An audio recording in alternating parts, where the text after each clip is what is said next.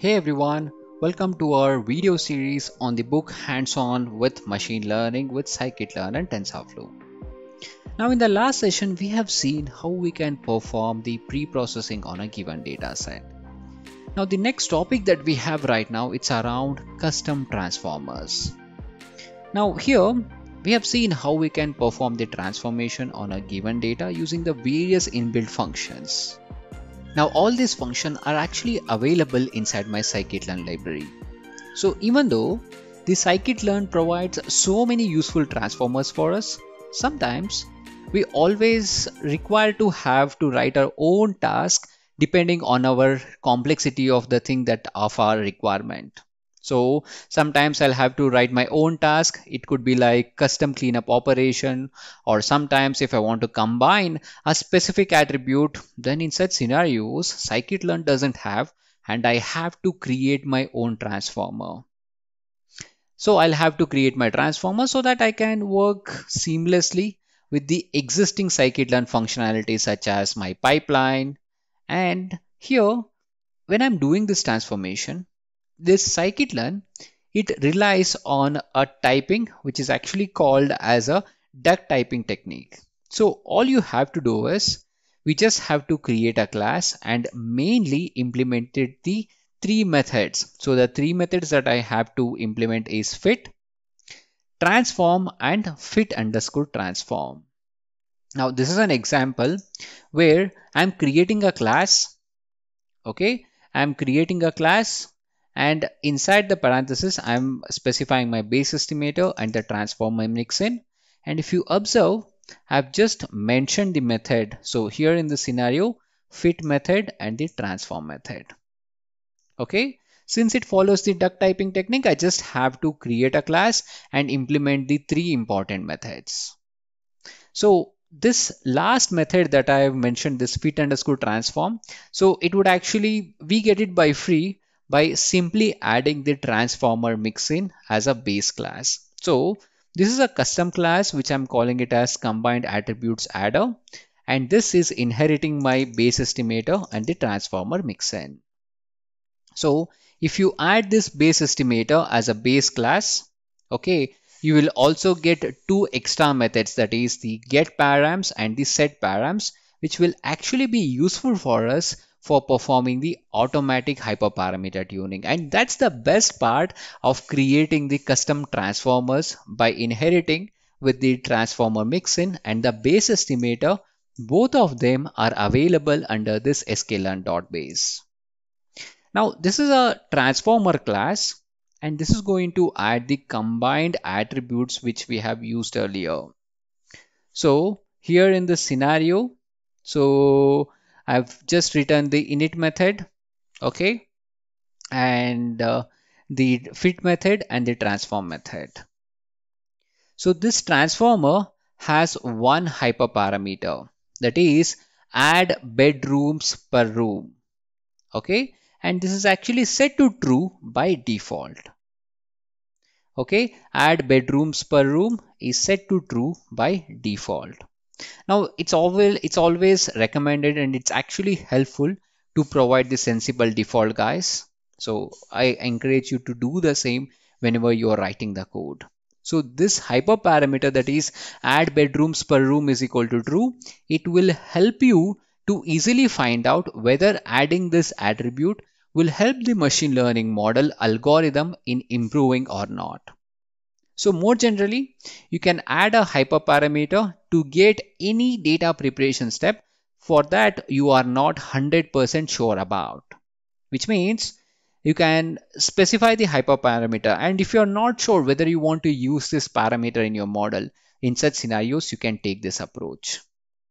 The more and more you automate these scenarios, that is these data preparation step, the more combination you will be able to try out because at the end of the day, you will be having multiple columns and you have to select the best possible columns.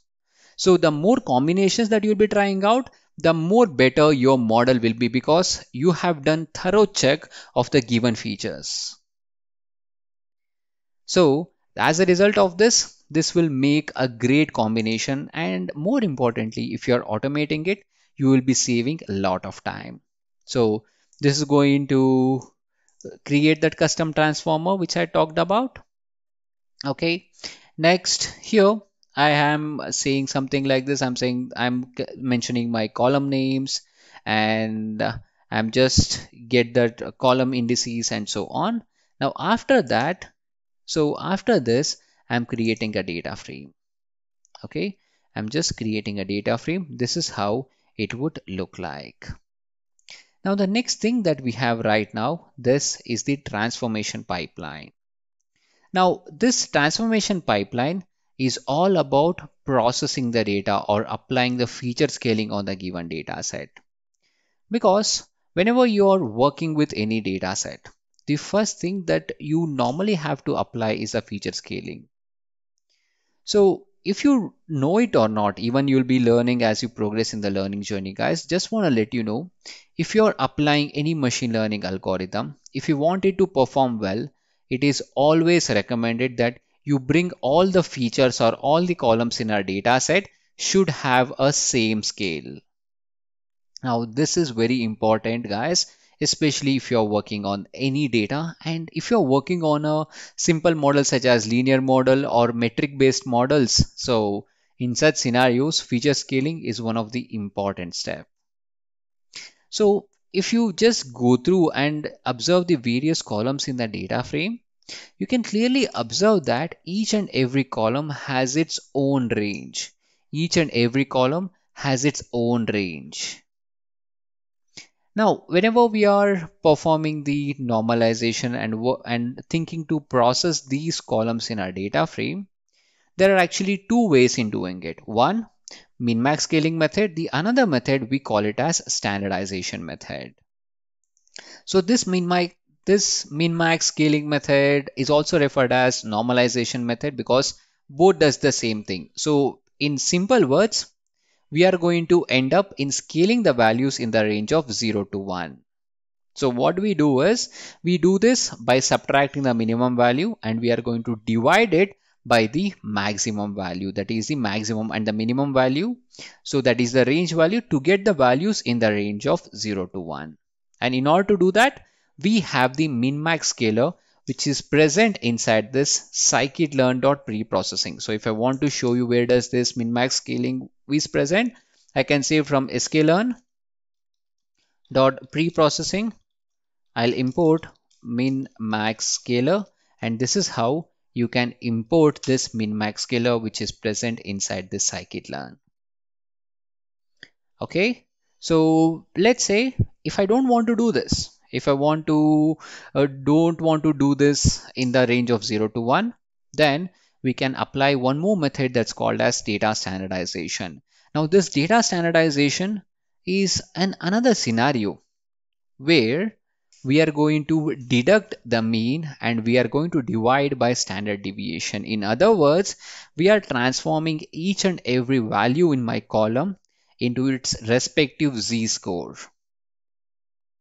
okay into its respective z-score. And this z-score guys this z-score is one of the most used method because some of the advantage that we have whenever we are converting the data with, into its standard scaler value. Standard scaler is also called a z-score is that these values are much less affected by the outliers. Now to give you an example from the notebook suppose a district had the median income equal to 100 by mistake, then in such scenarios, when you do a min-max scaling, this would crush all the other values which are between 0 to 15. Do you agree with me? So if I have the median value, so let's say real values of median are given by 0 to 15. Okay. Now if I have a maximum value as 100 which is an outlier, this would crush the values of 0 to 15 as 0 to 0.15. Is it making sense? How is it going to affect me? But when I talk about standard scaler, in such scenarios, it is going to transform in a much more better way where it will not be much affected by the outlier because in this scenario, I'm considering the mean that is x minus mean divided by standard deviation. So since I'm using the standard deviation and the mean, this will be less affected by the outliers in the data set. Now, whenever we are applying these kind of transformations on a data set, we basically apply it in two steps. First, we perform the fit on the data. Now, when I say fit on the data, it is going to learn the patterns in the data. Okay. And once it learns the patterns in the data, we perform the transformation. When I say transformation, we use those pattern. It could be a statistical value or it could be a minimum maximum value in the scenario of min-max scaler. We use it and we change those values. So there are multiple steps that are involved. Now, when we have those sequence of steps which we have to do it in a specific order, in such scenarios, we prefer to work with scikit-learn's pipeline. So using this scikit-learn pipeline, we will be able to combine multiple data transformation. And that is what being used in this example. Now, just be with me this entire video guys this entire chapter just be with me and look at the overall high level implementation as we progress in the further modules of machine learning I'll take you through a step-by-step -step journey where I'll be writing the code since this is a hands-on overview for you just be with me and observe the data at a very high level just pay, pay close attention to me and that's all I would request you for now so I'm importing this pipeline and we are applying the standard scaler so this pipeline and then I'm imputing the, I'm performing the simple imputation. That means I'm wherever the values are missing, I'm performing the imputation of median. And then I'm calling this combined attributes adder. And after that, I'm performing the scaling using standard scaler. So this is going to apply all these steps in a sequential fashion. In order to do that, so I'll create my pipeline. Once the pipeline has been initialized, we'll perform fit and transform on a given data set. And once that is done, if I display my data, this is how my data would look like. So we have transformed the data in an efficient manner. So this pipeline, this is going to take a list of name or an estimator pairs, which defines the sequence of step. Now, one thing that you have to ensure is the last term. Yes, the last term should be a transformer, which means they should have a fit underscore transform method.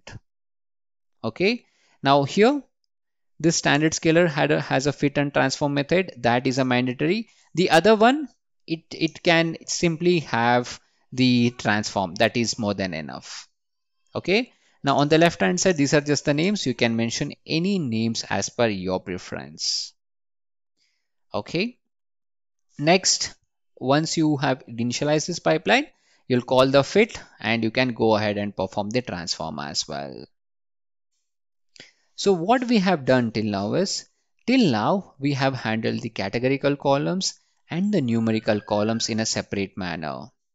Now I can actually go ahead and it can be convenient to have a single transformer which will have the ability to take care of the appropriate transformer on each column.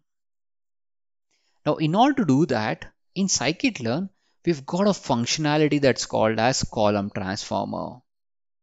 So the good news is this works really well with, the, with this pandas data frame, guys.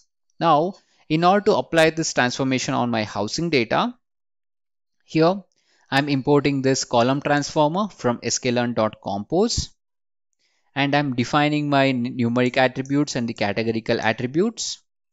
So I'm saying that this is a column transformer for numerical pipeline. I'm using the numerical attributes for categorical uh, data that is categorical features. I'm applying the one hot encoder on this categorical attributes. So guys, this is going step ahead from the pipeline that is the sklearn pipeline. This will help me to apply on the basis, yes, on the basis of type of data that we are working with.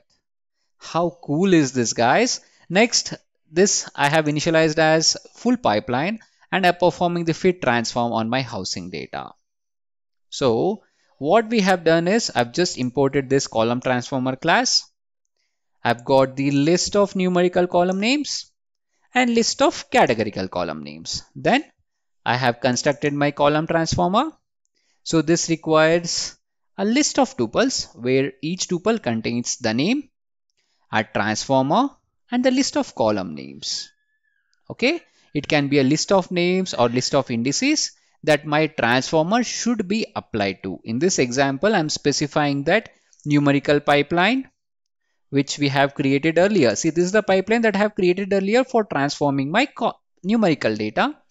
So it should be applied on my numerical attributes and one hot encoder is what it has to be applied on a categorical columns.